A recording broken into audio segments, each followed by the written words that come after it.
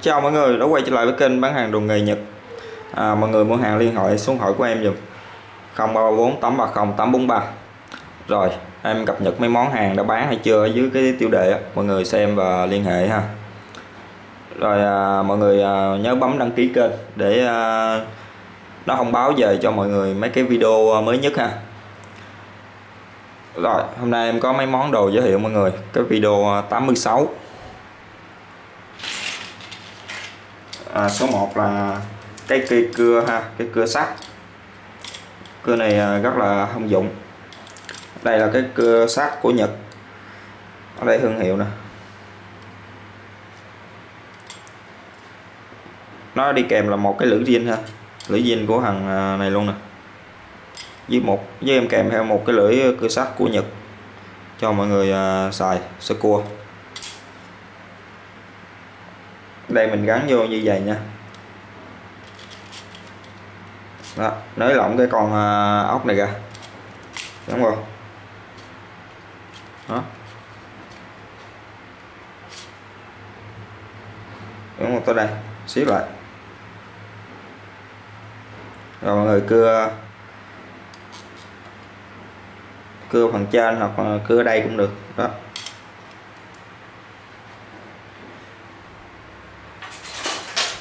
đây, cái kích thước của nó cái cán cưa là 21 đây, cái phần lưỡi chỗ này là khoảng à, 5 phân thôi. Rồi, cái bộ cưa này à, bộ cưa sắt. Có mã là 8601 nha, giá bán 200 ngàn.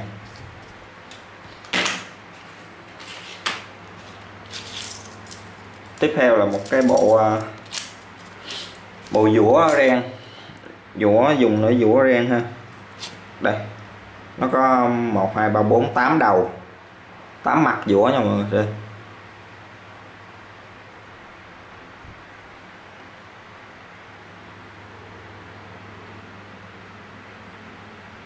Cái này của thằng Vercel. Đây, Vercel này Vercel này sản xuất ở ờ, Mỹ mọi người. Đây, Vercel của ta.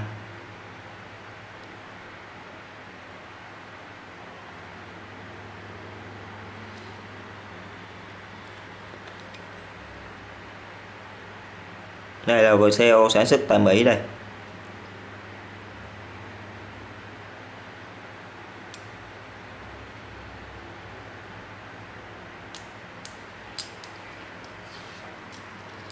Đó, một cây vỗ ren với lại một cái bộ um, đo bước ren ha. Đây, đo bước ren nè. Dùng để đo mấy cái bước ren.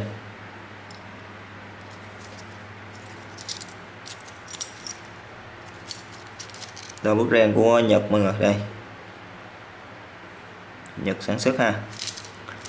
Rồi, em bán hai cái dụng cụ này là, có mã là 8602 nha. Giá hai trăm rưỡi ngàn. Hai món dụng cụ này. Không có bán lẻ ra nha mọi người. Em bán trung bộ luôn ha. Rồi, tiếp theo là cây kéo cắt cành nữa.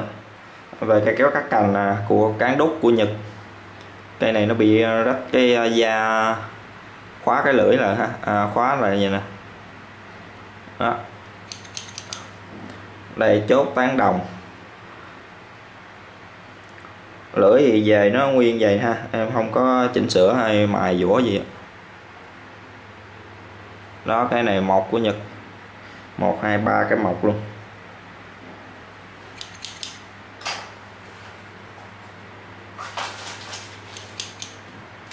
Đây. Đó. Trạng nó vậy nha mọi người. Mọi người xem cái lưỡi nè.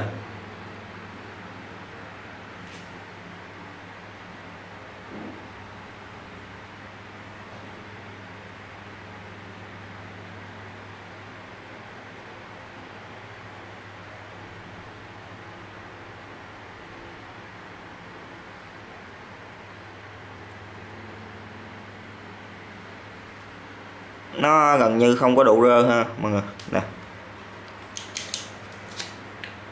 Rồi cây kéo cắt cành của mã là 8603 nha giá 300 ngàn.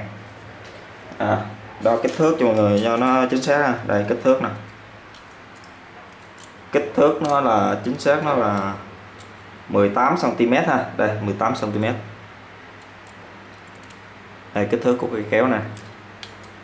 18 cm à, tiếp theo một cái cảo của Super. Super của Japan ha. Super này của Japan chuyên sản xuất mấy cây cảo ờ, bạc đạn. Đây là cây cảo bạc đạn hai cháu. Đây Super nè. Mấy con ốc này zin của Nhật luôn. Ốc nó có cái chữ của hãng luôn nè. Đây, chữ Nhật nè.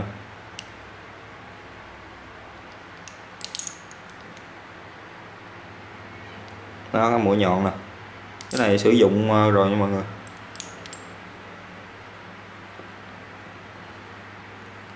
Đó, cái này nó đảo cái đầu này lại được nè cái cảo bạc đạn ngoài. Cái này cảo bên trong ha. Đó, hai cháu. Kích thước đây kích thước sơ bộ nó như vậy mọi người. Mọi người xem dùm em ha.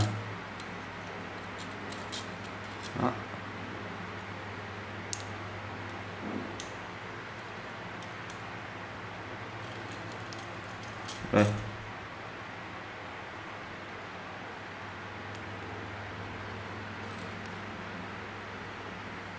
Nè. Đang quay chi tiết vô nha. Đó.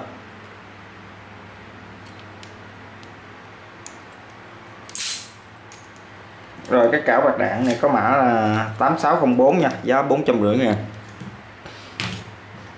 Tiếp theo là một cây cưa gỗ của Shin, Shinto đây Shinto của ờ, Nhật ha mọi người? Đây cái cán nó bằng nhôm này, này bằng sắt. Cái này là lưỡi thép. Lưỡi này là cưa gỗ ha. Cưa gỗ găng nhuyễn. Đây có kích thước là 25 cm ha. Lưỡi 25 cm đây cái cán này cán bằng nhôm rất là đẹp sơn màu đẹp ha. Rồi cái à, lưỡi cưa gỗ này có mã 8605 ha giá 200 ngàn. À, tiếp theo một cây à, uh, hớt à, Livo của Nhật. Đây Livo của Nhật. Iwatani. Đây đó.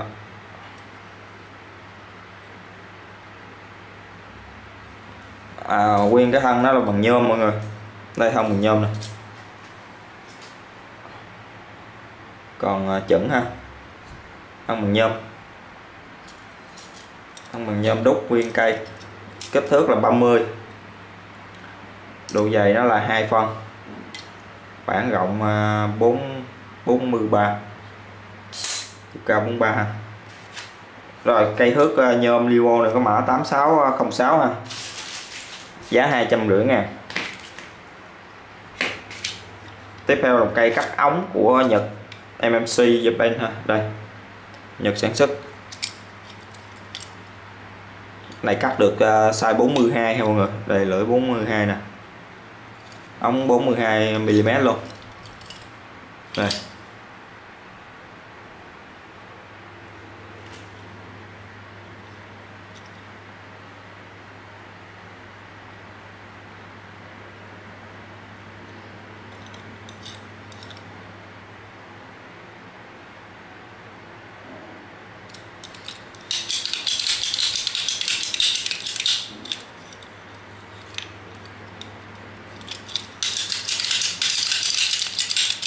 Đó.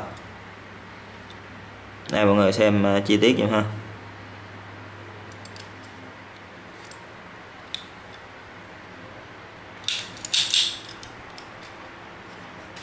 Rồi, cây cắt ống ờ, của Nhật này, ống 42mm có mã là 8607 nha. Giá bán 400 ngàn. Tiếp theo là một cái ờ, kính lúp của Nhật. Đây, thương hiệu Idea. Idea của Nhật ha đây là nhật sản xuất. Đây là cái kết lớp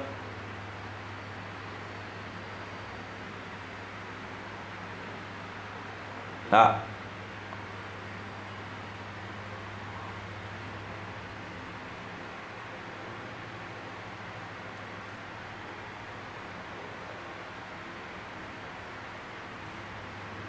Bóng rất được to nha mọi người. Đây mọi người nhìn cũng thấy ha, bóng rất là to. Rất to luôn.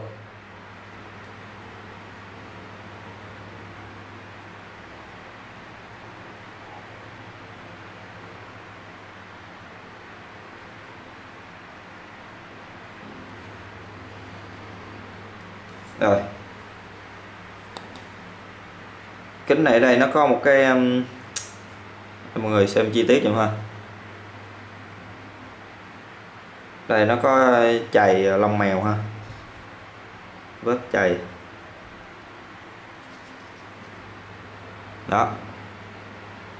Nhưng vẫn uh, xài ok. Đây. Nhìn cái là nhìn xa rất là ok nè.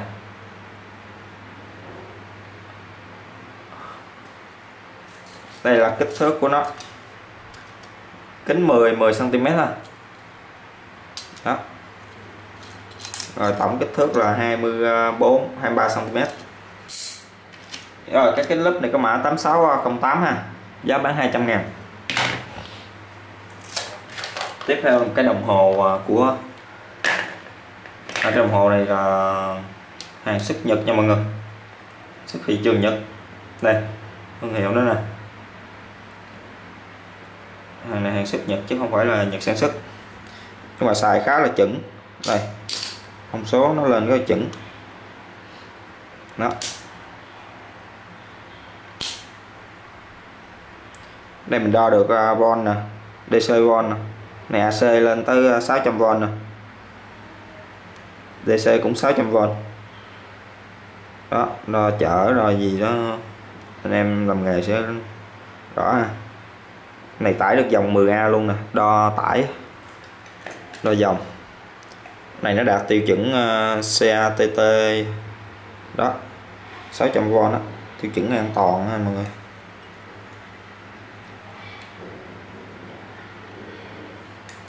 Rồi mình test thử cái ờ, đo DC nè.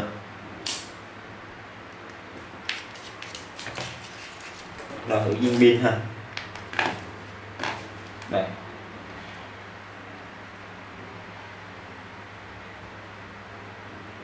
đó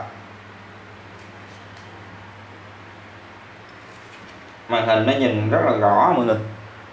Mọi người nhìn rất là rõ luôn.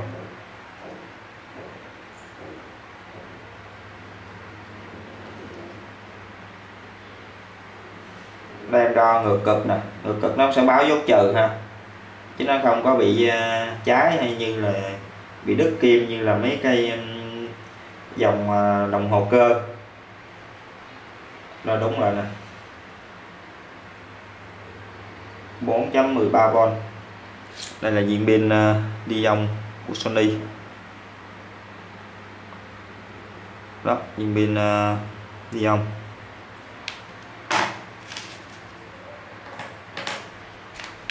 rồi, đo bên ờ, à. Này dùng để đo hông mạch nó sẽ kêu.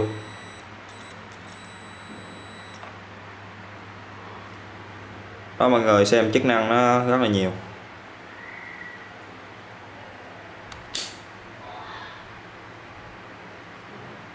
Ở đây nó có độ C luôn nha mọi người. Đây, đo độ C môi trường luôn nè. Hiện tại là 30 ờ, độ C nè. Nó đang cân độ là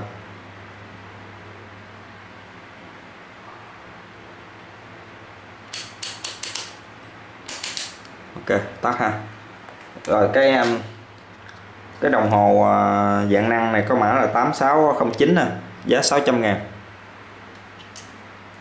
Dây này zin luôn ha, dây rất là dẻo. Đây. Kim còn rất là đẹp. Có cái đầu bạc để ờ, đứng.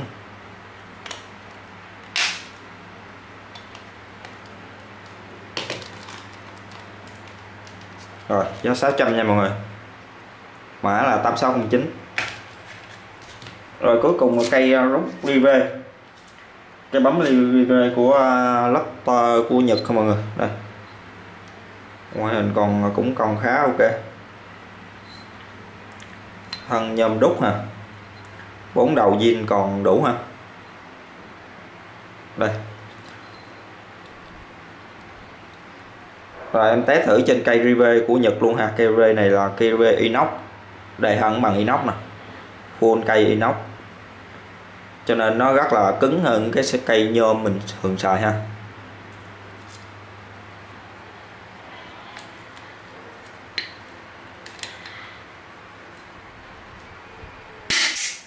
Đó, hai cái là nó rớt ha. Này chưa vô chưa vô phôi nha mọi người mình bấm vô phôi nữa là một cái là nó đứt. Đó. Răng nó bấm rất là ok, răng bấm rất là sắc luôn nè. Thằng này nó quan hàng nhật quan trọng là cái răng này nó rất là bền. Nó răng rất là sắc, nó ăn sắc không? Đủ luôn. Cây này là cây inox mọi người.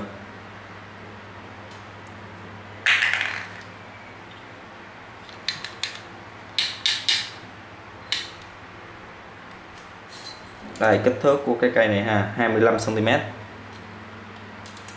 đó. Rồi cây bấm rive này có mã là 8610 ha, giá 500 ngàn. Rồi, em kết thúc cái video đây. Cảm ơn mọi người đã quan tâm, theo dõi, ủng hộ. Hẹn gặp lại trong video tiếp theo nha.